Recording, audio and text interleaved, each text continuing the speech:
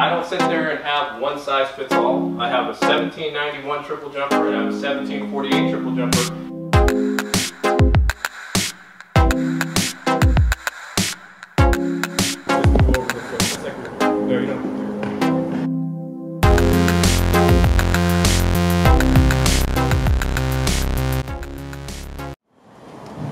we want to eliminate some of that instability. And that's the most important thing.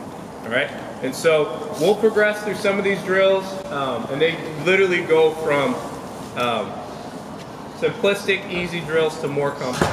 I mean, the only thing that we may do is you add intensity. Okay? You may add some weight with the weight vest or something like that, but we're going from very general uh, training to a lot more specific as we go later in the year. Okay. Do it right, you move over right. Good. Good. See, as soon as you guys land, what happens? You move, right? So that's good. That's what we want to do. Okay? And so, but are we going to run like that? Now we want to get it more complicated because when we're running what we're doing, we're running in max velocity like sprint mechanics, right? So they're going to be coming from here. So if I'm running, and I'm running with max velocity sprint mechanics, I'm coming here and moving off. So I want you guys to bring your knee up. Okay? And now, yeah, so just move over the foot, just like you're, no, you don't have to do that. So be a, drop down a little bit, you're kind of a little too active with good step. So let, let it come. Totally.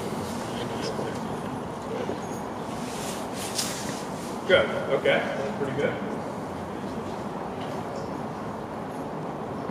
Good. What did, I didn't even have to cue them. What's the biggest thing we talked about? Postural integrity. Did they keep their postural integrity? Yes.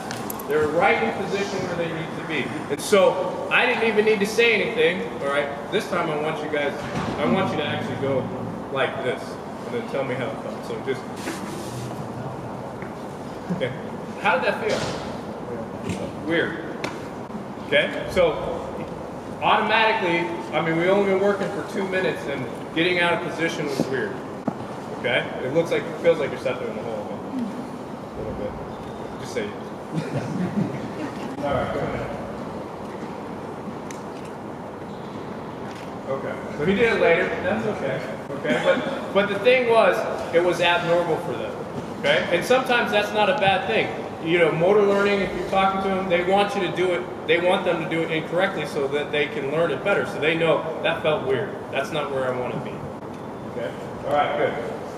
So now I'm gonna have you guys step. So you're gonna go. You're going to the left. So you're gonna go here. Okay.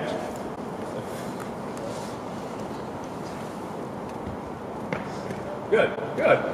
Pushed it right out. That was perfect. Okay? That was really good.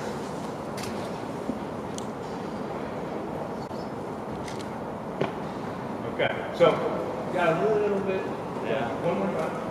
That's all right.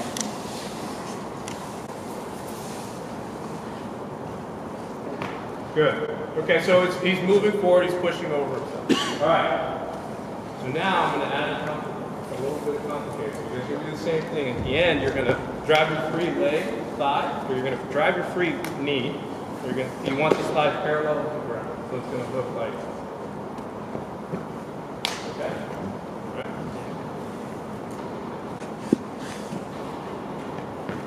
Good. Very nice. Very good.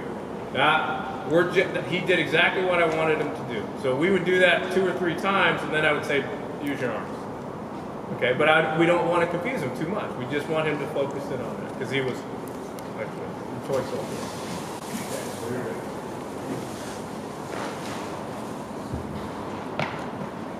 Nice. Okay, so we want to be aggressive. What we got? Oh, high jumping or. I don't know. That's all right. I'm giving him too much. See, I, I went to the arm. So that's okay though. All right, that's okay. So right now we would just be like, okay, let's focus in on the free leg. He got that correct. He got that done, and then we've added complexity to it. Okay, one more time. So, boom, good, very nice. Quick learner, quick study. Okay, pressure on.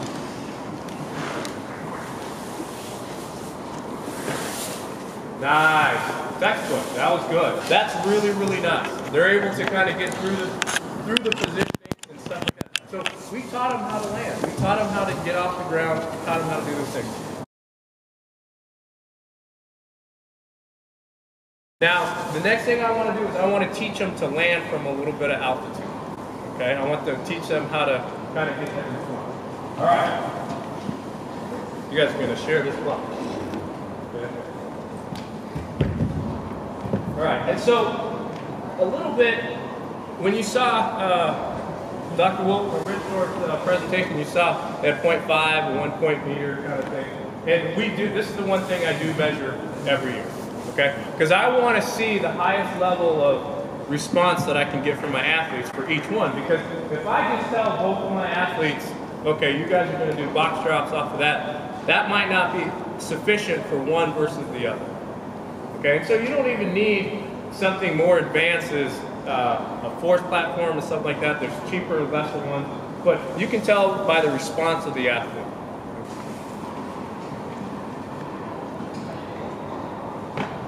Good.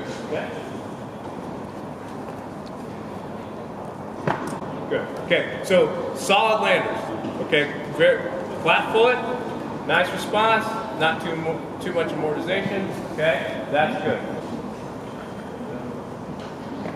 Good. Okay. A little taller on that one. That's all right though. But I mean, I, this is when I'm being nitpicky and specific. All right.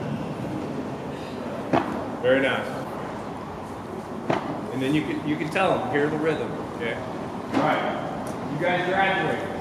Did a good job. And now we're going to get a little response off the ground. Okay. This is the cue you're kind of giving giving the athlete. All right. So keeping neutrality in our ankles.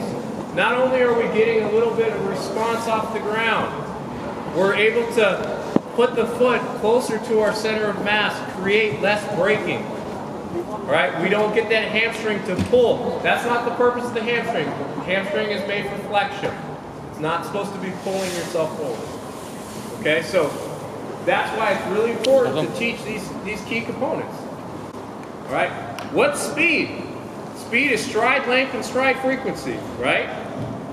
Okay, how do we increase stride length? We create more power into the ground, and that allows our stride length to be further. Okay? That is done by efficient, efficient movement.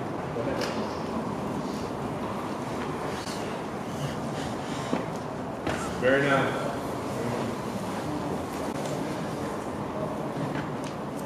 Very good. So, we, I mean, just looking at these two, didn't say anything. Did we, did we have two different athletes on that? We had a stiffer athlete, kind of like the high jumper, then we had one who had a little bit more bend, right? Try to get some height. Right? Didn't say anything. Right? But that, as a coach, you're getting response right back on what kind of athlete am I working with right now.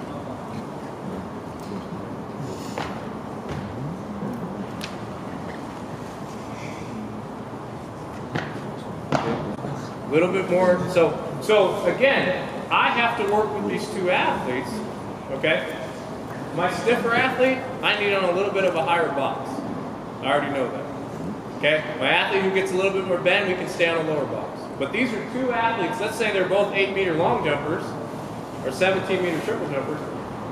I have to train them differently. Okay, you just saw it on the response on the ground. So, and, and just look at the maturation of the two athletes as far as being trained. So, he, he was coached well, so he knows that to respond back, bring his toe back up. Okay, and naturally, it's got good spring and good stiffness but still needs to learn that concept of bringing the, foot to neutral foot. Much better. Okay, and that, and so those are the cues that you're trying to use, and, and, and we'll say, we'll say why that's important. Not just because we're trying to teach the muscle stiffness and that kind of stuff. Okay, we look and, and we see that in max velocity spring and in acceleration. Okay, if the athlete just jabs their foot and sticks it out, what's going to happen? Are we braking or are we, what do we do? We're braking. Uh, that was a terrible setup for a question. Right, if I'm jabbing at the ground and I have my foot plantar flexed, I'm braking. I want to minimize that braking. So the great athletes, low heel recovery, active push into the ground. Okay? And guys, these things carry over. We've just learned the basic core principles of the drill. Okay? Now, we're gonna learn a little bit, we're gonna get into some multi-jumps and some more specific kind of drills.